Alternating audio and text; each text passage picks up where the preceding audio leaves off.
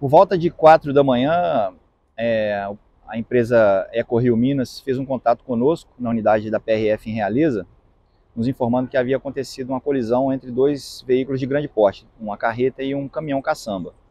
De imediato, a equipe se deslocou aqui para o local e, ao chegarmos, nos deparamos aí com esse acidente de grandes proporções. É, um dos veículos se incendiou. É, num primeiro momento, nós conseguimos detectar duas vítimas fatais.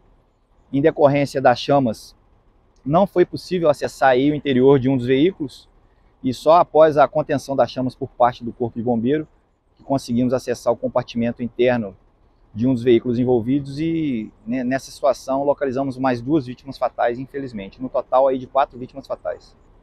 É, é, é, assim, é muito precoce nós informarmos né, quem deu causa, o que aconteceu, mas a princípio, né, os primeiros indícios, os primeiros sinais que nós localizamos aqui no local do acidente é, indicam que um dos, dos, condutores aqui invadiu a contramão, o condutor da carreta invadiu a contramão de direção e veio colidir frontalmente aí com, com o veículo que se deslocava sentido a Caratinga.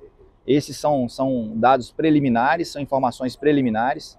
Como eu disse, é muito precoce a gente determinar, mas é, são levantamentos iniciais. Então, dessa forma, é bom que fique frisado aí que ainda há muito trabalho a se fazer para que a gente possa fazer o levantamento completo do acidente e determinar quem foi o, o causador. Retomamos conhecimento, tratasse aí de um morador de Realeza, uma pessoa bem conhecida aqui na região.